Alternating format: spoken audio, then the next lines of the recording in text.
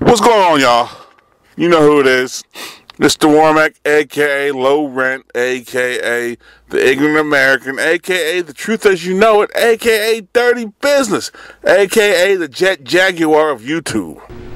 Hey everybody, welcome back. You know who it is by all the, the avatars and all the descriptions of the page. You know who it is. You know what I'm doing. Mr. Wormack about to give you another podcast. Today I'm going to talk about a subject that kind of irks me because it didn't have to go this way. We're going to talk about in, in trace dose uno right here. We're talking about the Baltimore Ravens Ray Rice incident. Well, as you may have aware of, was as you may have known by now, Ray Rice was uh, his contract was terminated by the Baltimore Ravens, and he was suspended, quote unquote, indefinitely, I guess, by the NFL brass.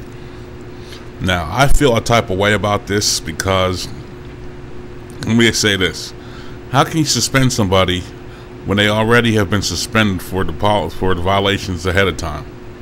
I mean, beforehand.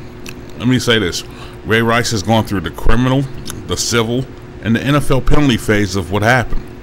Now, all of a sudden, TMZ releases the video, and the NFL gets on their moral high ground, quote unquote. They get on their political correctness moral high ground, I should say. They bow into the, the feminazis. They bow into the public pressure, and they get rid of one of the. You know, they they they try to destroy a man's career. They threaten his livelihood. Look, I understand NFL is a business, and they always say it's a business. Don't take it personal. This is extremely personal. This situation, because number one, the NFL has handled it oh so wrong let me explain something. If you want to go this route, I have no problem going with the way you've done. If you do to go this route, but you don't do it after you penalize the guy beforehand. I mean, after you penalize the guy afterwards. It's kind of like a double jeopardy case in the court where you, you were found, whatever, then you get retried again. Well, that's a lame that's a lame one, but you understand what I'm saying. Ray Rice was getting was gay. They gave Ray Rice a two game suspension well, bow to public pressure. Oh, uh, wah. okay, four game suspension and everything. And this was like, this was like in the span I think of six months. So the NFL had time. Now the NFL is saying, well, we didn't see the footage. All of a sudden, the NFL is saying, well, we weren't given the footage. Now, which one is it going to be, Goodell? You need to make up your mind of which lie you want to stick to. The fact of the matter, the fact of the matter is this: Ray Rice was suspended for the two to four games. He accepted. He, he was a man. Like I'm not condoning the situation wholeheartedly, but we're not talking about the situation right now. We're talking about the penalty phase right now because all the smoke is cleared. Is she stuck with him? She married him. So now we're on. what We're on this. We're on this buffoonery here. Uh, fact of the matter is, Ray Rice should not be suspended. I don't care what anybody says. Ray Rice should not be suspended because he. How can you get suspended on a suspension you're already suspended on. It don't make sense. You're getting he's getting punished twice. Now I know people say, well, what if that's your daughter? That has nothing to do with the case in hand. The fact of the matter is, she married a guy. The NFL need the NFL needs a stronger person to lead the union because I don't know how this is passing. And I know Ray Rice will go through the through the steps of you know going through the union and this, and that, and the fifth. But after that, if I was Ray Rice, I would seek legal counsel because the NFL is like a job like anywhere else. The fact is that he got he got terminated his contract while he was serving his suspension. Isn't there a process you could go through to do all this? I mean, I know there's some people have moral clause in their contract, but that was dealt with when he got his two to quote.